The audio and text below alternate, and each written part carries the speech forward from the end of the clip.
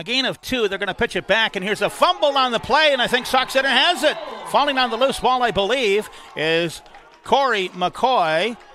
And it is a Sauk Center recovered fumble, and the Streeters have it inside the 25. They'll place it down at the 25 yard line. So a fumble on Royalton. Sauk Center has the football in good shape.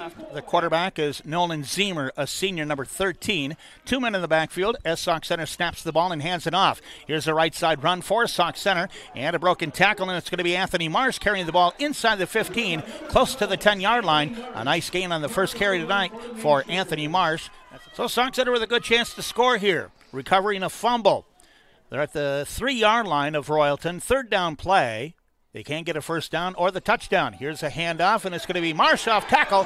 He'll go in and score the touchdown. Sauk Center takes a 6 0 lead as Anthony Marsh takes it in. His first score of the year 6 0 Sauk Center. Boy, what a sequence of events here for Sauk Center now. The defense has to hold.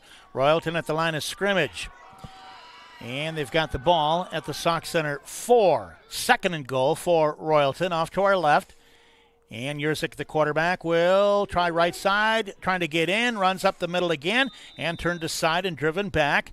Forward progress marked down at about the two. So maybe two yards that time for Yurzik. So they've had the quarterback keep it two straight plays really trying to pick and choose using their quarterback to find any kind of a crack or a sliver he can. Uh, getting bottled up and oftentimes spun around with his back facing the rest of the defense. Uh, Billy Finkenmelde one more time from nose guard coming in on that last stop. The ball is at the two. Third down and goal from the two yard line for Royalton. Here they come. Sauk Center seven, Royalton nothing, but Royalton from the two yard line Two in the backfield for Yurzik. This time a man in motion. They'll hand it off. Carlson, they try to move the pile. He didn't get in. Driven back again, the Sauk Center defensive line holding ground. And once again, number 72 coming in quickly was McCoy.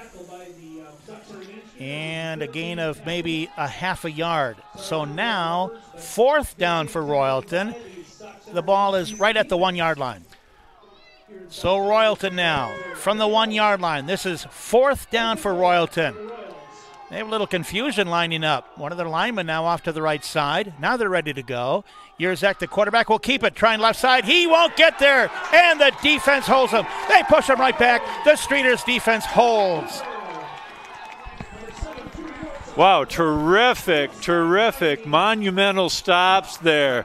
McCoy and Anthony Marsh coming from linebacker, guessing right and making a huge collision right there on the one yard line. What an excellent defensive stand for the Streeters. Sauk Center got the first down on the penalty. Here's a running play.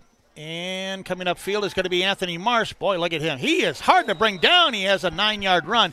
Great strength and balance for Anthony Marsh. Oh, boy he was tied up but not down. That's the difference there. He keeps his feet going with those short, choppy steps, and somehow backwards he's able to eke out another two or three yards with that defender riding along. The ball is at the Sauk Center 21. This drive started at their own one, but now second and 13 after a loss of three. Here's Marsh trying right side, trying to get around that corner. Little speed, and he broke a tackle. He's out to the 40, then drops down, and a good gain again for Marsh. That's a 17 yard run. Sauk Center first down. Marsh again with that speed, turning that side. Good run by Marsh. Now they pound it straight up ahead, and Fletcher moving that pile again near midfield and finally brought down. But Fletcher just kept on driving. Ended up at about the 49. That's a run of seven yards for Eli Fletcher, a sophomore, number 43. Second down and about six for Sauk Center. They'll run with Millard again. Millard coming up field, and he's close to the first down. Good effort that time by Ben Millard. Now Fletcher coming back in, and so is Marsh. And so kind of a new unit out there running the ball and coming out and uh, doing a good job was Millard on that carry. And it is a first down for Sauk Center on an eight yard run by Ben Millard. This is a big down, and you're right. Third and eight is getting further back in the playbook. That's not the best down and distance. Let's see what the Streeters have up their sleeve here. They need a good eight yards. And they're going to run. Left side for Marsh. He comes, steps through, stepping high on the move, sprinting down that left sideline. He will score. Touchdown for Sauk Centre. And no penalty flags. I have been looking ever so carefully behind the play. I'm not seeing any kind of yellow down there.